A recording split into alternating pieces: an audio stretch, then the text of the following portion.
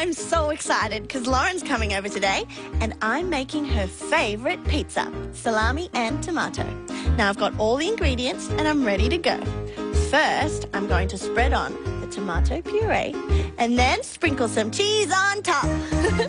some salami and tomato and lots of mozzarella. Some salami and tomato and lots of mozzarella.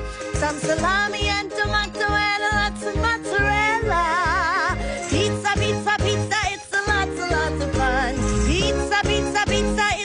Lots, a lots of fun. Hey! Ah, that looks great.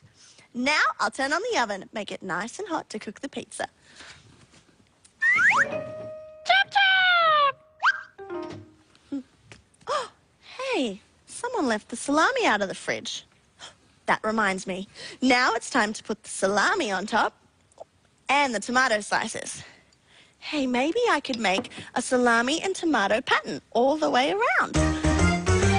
Salami and tomato and lots of mozzarella. Some salami and tomato and lots of mozzarella. Some salami and tomato and lots of mozzarella. Pizza, pizza, pizza, it's a lots, a lots of fun. Pizza, pizza, pizza, it's a lots, a lots of fun. Hey! Ha ha! Salami, tomato, salami, tomato. All the way around. This looks great. Lauren's going to love her pizza. Now I'm going to make one just for me. Chop chop! Oh no! Look at Lauren's pizza. It's all flopped over in half and squishy on the inside. Hi, Fely. Oh. hey, you didn't tell me you were making calzone today. It's my favourite. Calzone? I thought I was making pizza. it is pizza. It's a special kind of pizza that you fold in half so all the flavours go yummy and squishy together. It's delicious. Well, let's make another one exactly the same.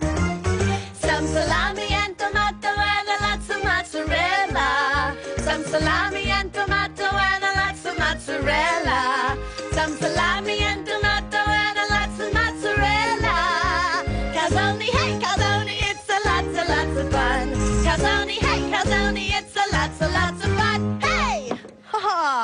Ready?